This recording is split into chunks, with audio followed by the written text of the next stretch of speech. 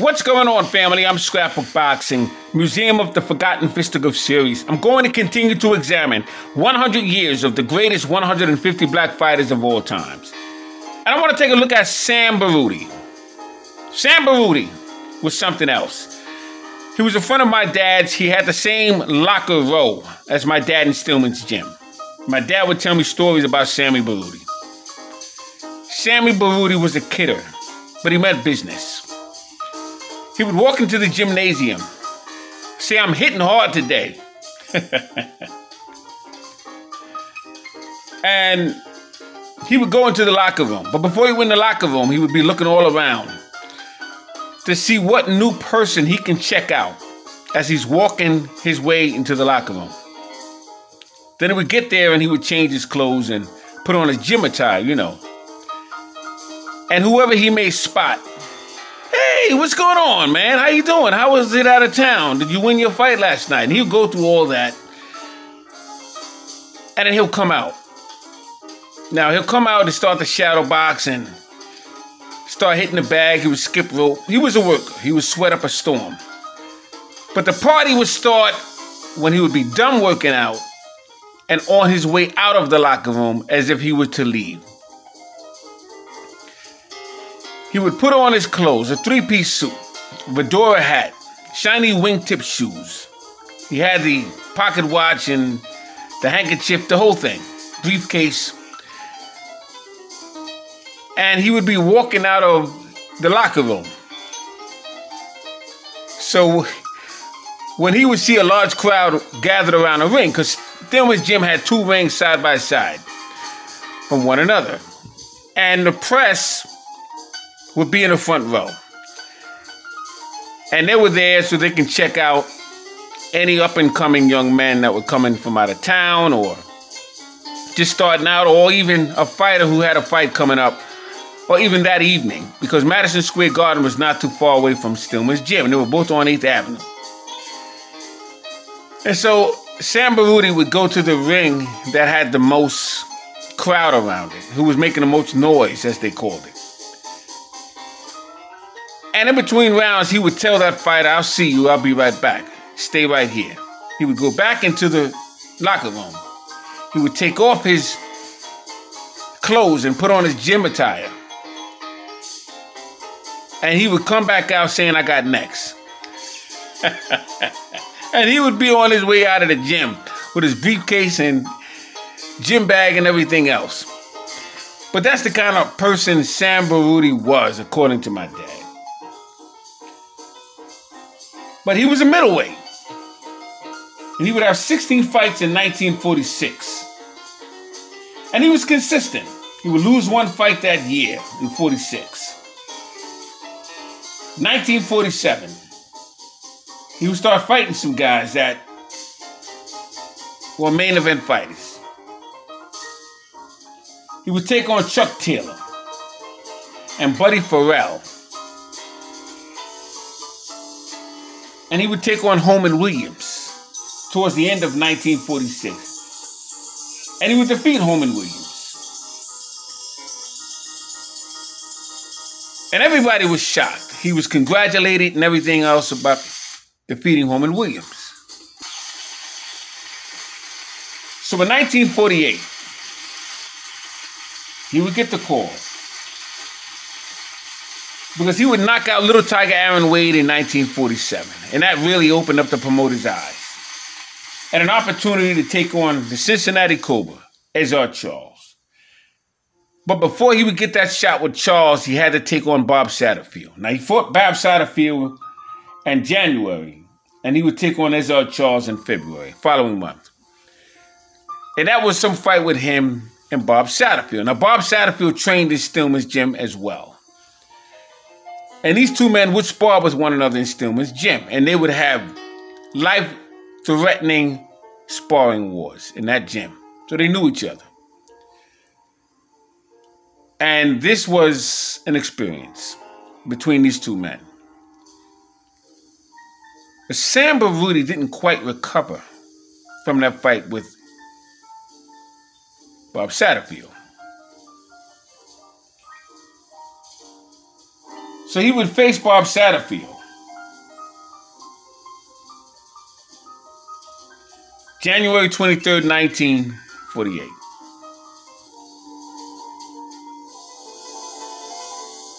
But then February 20th of 1948, he would take on Ezzard Charles. Now, Ezzard Charles, at this point in his career, would taken off. He started his career in 1940. He was in there with Jimmy Bivins and Archie Moore. He was in there with Charlie Burley, Lloyd Marshall. So he had a name for himself. In fact, the next year he would become heavyweight champion of the world, and when he would defeat Jersey Joe Walcott in 49, he would pick up the NBA heavyweight version of the World Championship title. And after the 10th round, towards the end of the 10th round, Baroudi would be hit by a straight right hand of Ezzard Charles he would go down. And as the referee was counting him out, he himself was counting himself out. And he would wind up in Cook County Hospital. The fight took place in Chicago. And Ezzard Charles would be sitting on a hard bench all night long, praying that this man would be fine. And he didn't make it. And when the gym got word of what happened to Sam it went quiet. Stillman, Lou Stillman had ordered a standing eight count in that gym. No one could move. And they just all prayed for Sam Baroudi because everyone liked Sam Baroudi. And uh, Sam Baroudi was a very good fighter. So I'm going to place him 100 years of the greatest 150 black fighters of all times. He didn't get a chance to finish his career. And he was on his way. And he was consistent. So Sam Baruti has been added 100 years, the greatest 150 black fighters of all time. Shout out to Sam Baroudi.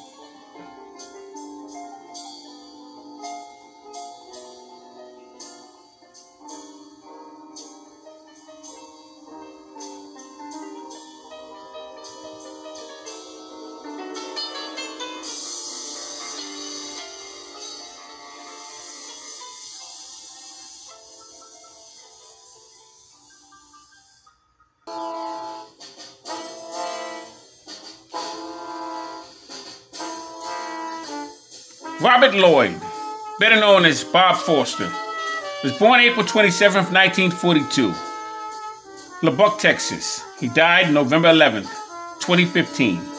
Bob Foster was just 77 years of age at the time of his death, and he would reside in Albuquerque, New Mexico. He would end his career as a sheriff after the love of boxing. He stood 6 foot 3 inches, had a 79 inch reach, had a total bout career of 65 fights, 56 wins, 46 knockouts, and 8 losses. Now, he was married at the age of 18. But that didn't stop his boxing career. And he would lose his fight on a Saturday night, October 20th, 1962, New York's Madison Square Garden against New York's Harlem Doug Jones. Eight rounds, technical knockout, he was stopped by the referee Teddy Martin and Foster was a replacement for Zora Folley. Foster was dropped in the first round, the eighth round, and the ninth round. But Doug Jones was a very tough New York fighter. In fact, Cassius Clay went the distance with Doug Jones. Cassius Clay had called around, and Doug Jones would make it the distance. Reminds me of George Foreman when he made his comeback, and Bigfoot Martin would raise his hands in victory for being the only fighter to go the distance with George Foreman. But Doug Jones was a hell of a fighter, man. He fought Ernie Terrell for the vacant WBA heavyweight championship strap, and he came up short. The Friday, July 10th, 1964, Foster would face Ernie Terrell. Stopped in the seventh round. New York's Madison Square Garden, by referee Arthur Mercante. He couldn't make it as a heavyweight, but he definitely made it as a light heavyweight. And what was amazing about Bob Foster, December 6, 1965, he'd be in the ring with Zora Folley. The Municipal Auditorium, New Orleans. Referee was Herman Dutreix. 10 rounds. It would be a unanimous loss. Friday, May 24th, 1968, after facing light heavyweight contenders Eddie Cotton and Kid Matthews, who would wind up becoming a heavyweight, and who would be a contender for Rocky Marciano's crown. Bob faces former middleweight contender and current champion, Dick Tiger. It was a slugfest for four rounds. Bob Foster would introduce his left hook to the chin of Dick Tiger.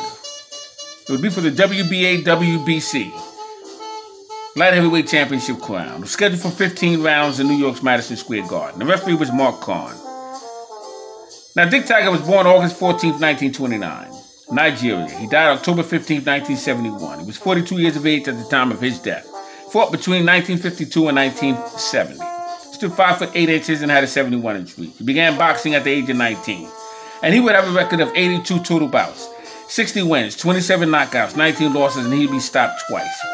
He would be in the ring with fighters such as Rory Calhoun, Gene Armstrong, Holley Mims, Joey Giardello, Randy Sandy, Emile Griffith, Gene Fullmer, Jose Torres, and Nino Benvenuti. So Dick Tiger couldn't take the heat of Bob Foster. Bob Foster would knock out Mike Quarry and others. So Bob Foster has been added to the list 100 years of the greatest 150 black fighters of all time. He has been consistent, but he was a light heavyweight champion.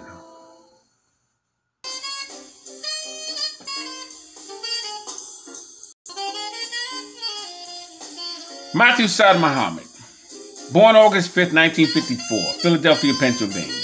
He would die 2014 in Philadelphia. He stood 5 foot 11 inches and had 117 and a half inches in reach. it seemed that way.